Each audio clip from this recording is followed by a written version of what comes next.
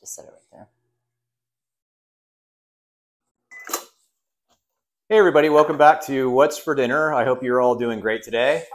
If you have any questions, make sure you uh, reach out to your medical provider uh, with those questions. And if you need to find somebody who specializes in bioidentical hormone replacement therapy or hormones, you can reach out to worldlinkmedical.com and look up their uh, provider directory there. And if you're looking for somebody who specializes in low insulin ways of eating, low carb, keto, carnivore, you can go to lowcarbusa.org or you can go to smhp.org. All of those sites have provider directories. You just go in there, enter your local information, and they'll bring up all the providers that are closest to you. Yes. So, um, wanted to kind of go over real quick what we have going on today. Teresa did some leftovers. We kind of have a quick dinner. We've had a lot going on lately, as we've mentioned before. So some of our dinners have been um, kind of quick and short and haven't been super creative. But um, we did a little combination of leftovers plus chaffles tonight. Yeah.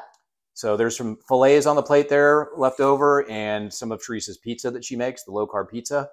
Um, there's some of the chaffles with uh, Munster cheese. Yep.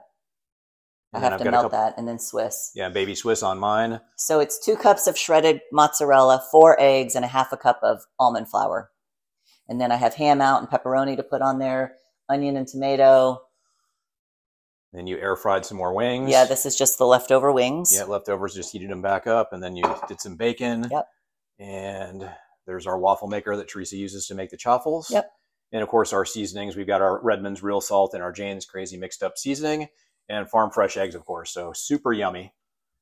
All right, so that's our low insulin way of eating. And speaking of low insulin, I think we wanted to talk a little bit about that part of our theme as part yeah, of our theme. first though, I would like for you to put in the comments if you've decorated for Christmas and when you usually decorate for Christmas. oh my, yeah. Okay? Yeah, there's been some contention in our household, mostly between Teresa and the and the kids, that we started decorating for Christmas a bit too early. So we started. What was it last Friday? So last weekend I decorated the house. You erected the tree today, but now we're this weekend we'll put decorations on it.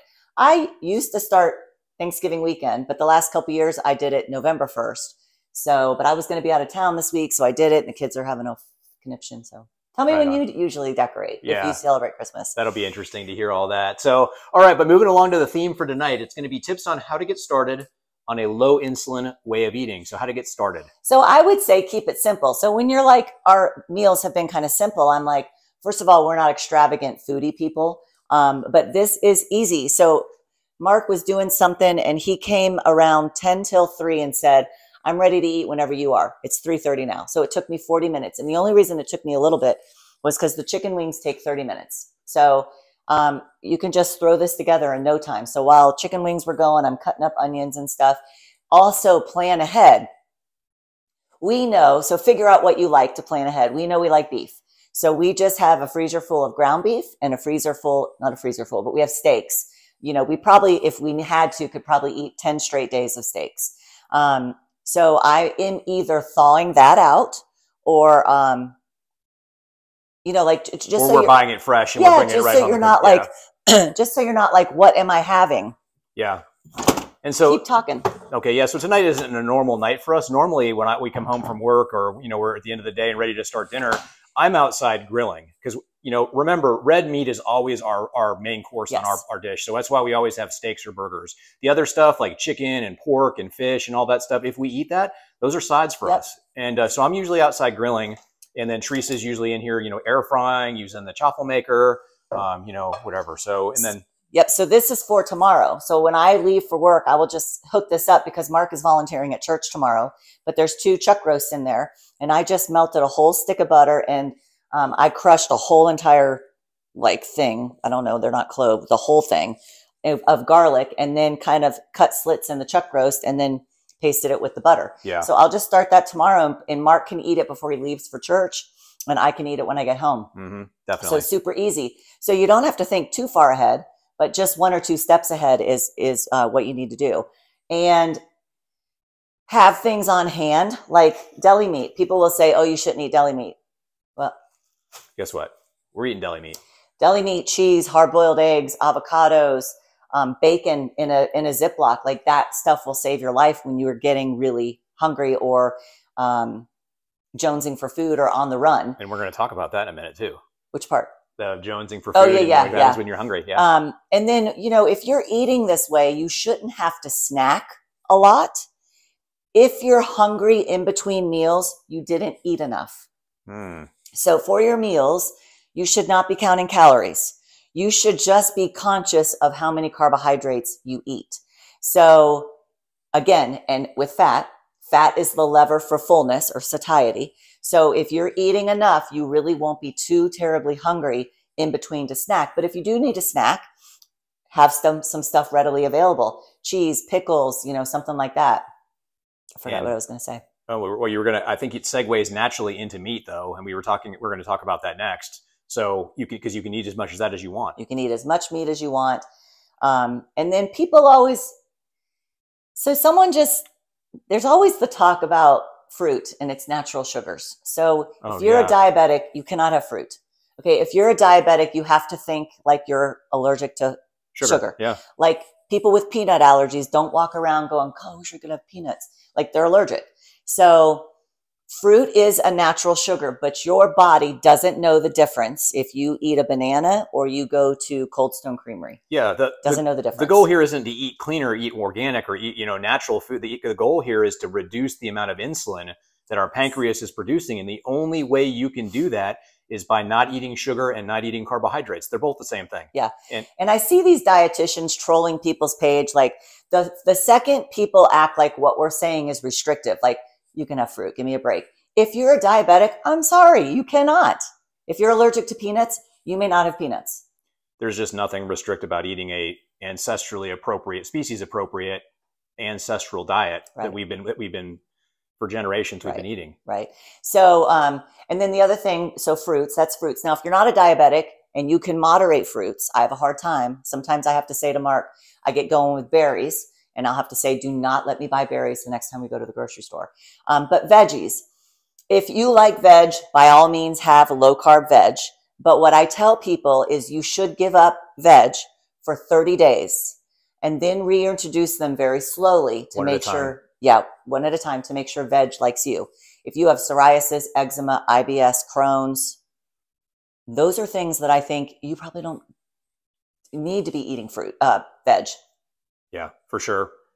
And also, you know, if you if you have problems with gas and bloating and things like that, a lot of times because you know you have to your butt your stomach and your probiotics have to ferment vegetables and Yes. fruits in order to digest them. You know, when you're eating meats that uses enzymes, and you can change that whole process in your Yeah. body, but it's that fermentation process, you know, that causes the bubbles and the gas and the bloating and all that stuff that comes with that. Yep. So And then there's always the sweet tooth. What do we do when we have a sweet tooth? Well, number one, Rosette's Mix. So rosettesmix.com. mhm. Um, and you can have sweet stuff. Make, just make it with almond flour and, you know, monk fruit. She does. Um, the other thing is many times sugar cravings are fat. You, they can be um, taken care of with fat. Yeah. So I've told you guys this before a couple times recently. I used to dip pork rinds in sour cream because sour cream is pure fat. Pork rinds is pure fat. You could dip it in salsa, but salsa is not really fat. Pork rinds is fat. And then if you want something hot, I melt or soften cream cheese, pour in tons of Jane's Crazy seasoning and garlic powder, stir that together, and then dip my pork rinds in there. yeah, Every single time I've had to do that, it has done the trick. it will satiate you. You'll Mhm. lose your your sugar cravings. Yep. you know. And if not, what I do sometimes is I just say, the Lord is my sustainer. I certainly don't need whatever I think I need right now. Mhm. So, or go take a walk or go play ball with your dog or, you know, all of those kinds of things. But many times it can be um, satiated with fat. And don't ever think because we know what we're talking about a little bit like this, and we have some experience with this, and maybe you don't, maybe you do. Um, don't ever think that we don't, we aren't susceptible to all these things that are happening to you guys too. So, I mean, we could talk to you about that all day long here about stories and, and whatnot. So, gosh. um, we all fall off the wagon, you know, Yeah. and that kind of um, leads Mhm. into the next the next point. Yeah. You know, one time I worked with a trainer and she had me cheat and eat everything I could eat in a four hour window once a week. I, don't think that's advisable. I think that continues the food addiction. Mm, and then doesn't allow you to get into ketosis and get going again because by the time the week comes around first of all you're thinking constantly about it my day was a saturday so i would hoard things through the week for my saturday cheat okay that's just not good no. um, and then you never are going to get where you want to be because you're going to keep interrupting the ketosis and um, weight loss cycle everyone wants to lose fat Yeah. but there's other things that we're doing um, The other thing I, I suggest is stopping alcohol for at least 30 days and see how you feel. I think alcohol has been normalized in our society. Absolutely. And it is a poison. Um, we do drink occasionally. If you guys saw when Doug and Pam were here, we had wine laying out when we did What's for Dinner. But every night, it's not good for you. So and so uh, when we had the wine with uh, Doug and Pam when they were here, those are the founders of uh, Low Carb USA were yeah. visiting with us. They had low carb dry farm right. wines with them because they have that at their, their conferences, and they brought those back from on the way back from a conference. Yeah. And so we drink that, and it's low carb, but we don't make. Um, we have. There's no mistake. We understand fully yeah. that while we have alcohol on board, our body is not going to be able to tap into our fat stores to use that as fuel. Your body, um, your body recognizes alcohol as poison. Yes. So your body prioritizes metabolizing the alcohol and getting out of your system before it taps into your your carbohydrates or your fats or your protein or anything else.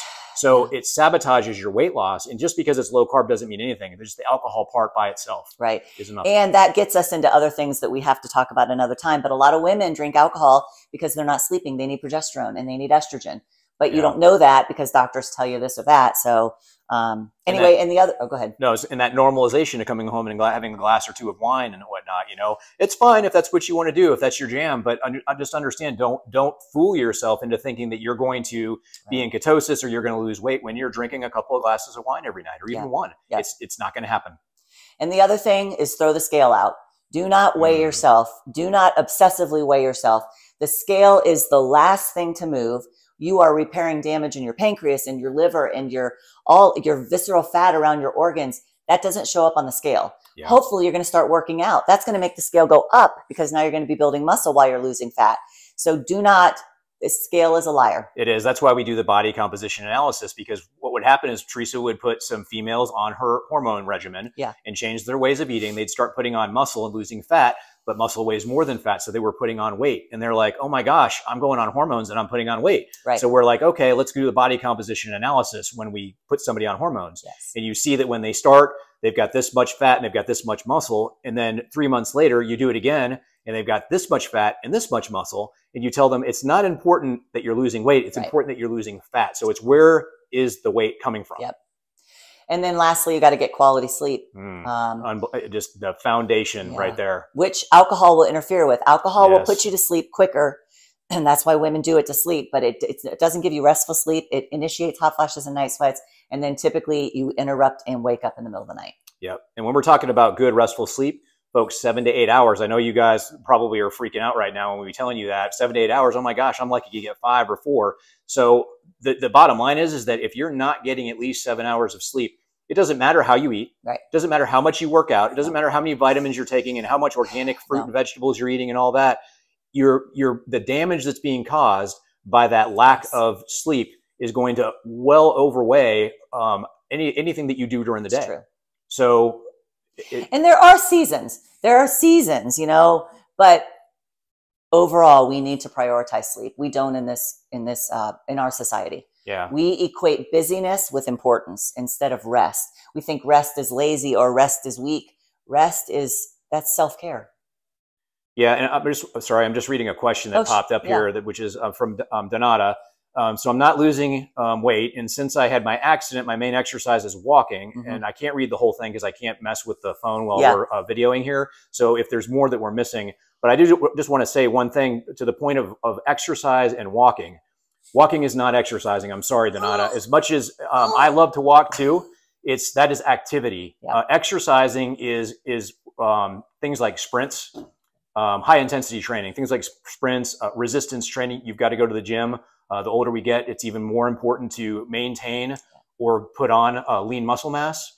And um, as, as, as good as walking is for getting sunshine and fresh air and you know calming your mind and you know breathing and you are burning some calories it's not considered exercise so i exercise down in our um, in our john deere room because the weights i'm girl and the weights are fine for me but i can only do upper body right now because my back and hip is so painful so you could do bands um, or you could just do lower body um, you know, just something, something to lose uh, or to uh, get your muscle mass going. Yeah, absolutely. The point is, though, is you have to do exercises that you reach total muscle failure. So yeah. think sprinting. uh, if you're running a really fast, hard sprint on, on grass or whatever, and you just can't go anymore, like your legs, your arms, every part of your body is exhausted, that's resistance training. Getting on a, a rowing machine and going as hard as you can for 20 seconds on that rower uh, until you just can't go anymore, that's resistance training. Or going to the gym and doing a bicep curl until you reach muscle failure, and it has to reach muscle failure. That's the signal that your brain receives that your body is not um, is not sufficient the way it is now, that it has to grow back bigger and stronger. Um, that's what you need to actually put on the muscle. Donata's story and her accident is nothing short of a miracle that she's alive. Hmm. Um, so I would think maybe we could do upper body and maybe we could do bands with with her. Okay. So um, Sorry, Donata. I didn't know. I didn't know the background on that. So if you guys go back on videos on our page for Facebook, that is, go back to January 2020 and you will see me in the garage doing the smart training workout. And then two or three days later, there's snow in the background here. Then we went to Florida, there was no snow. And I have video of Mark and a couple machines doing the same thing at the gym. Yeah. Um, but yeah, yeah. okay. What else? that's all I got. It's just, it's hard. Yeah. It's hard. Holidays are coming. Um, there's going to be food everywhere you look soon. Everywhere you look. Yeah. And it's hard. So just be careful, Yep. but, But give yourself grace. at some point, we've got to say, like, no, I have to do this. yeah, for sure. So, All right, guys, if you um, haven't already done so, please like or subscribe uh, to our YouTube and Facebook pages. And um, as always, any kind of comments or little hearts or stars you can throw our ways and things like that will help us with our algorithms and whatnot and uh, putting out, getting more followers. Yeah. And um, we won't see you tomorrow night. yeah, tomorrow night we'll be we'll be tied up doing some things for church. Yep. So speaking of church, hope to see you all there tonight. Yay! And as always, we love you guys and God bless, and we'll see you next time. Bye. Bye.